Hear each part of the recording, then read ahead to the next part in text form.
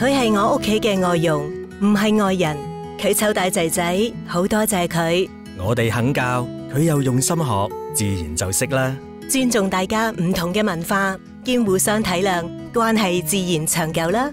不过记得标准雇佣合约规定外佣只可以喺合约定明嘅雇主住址居住同工作。信任尊重体谅共建长久融洽关系劳工处热线二七一七一七七一。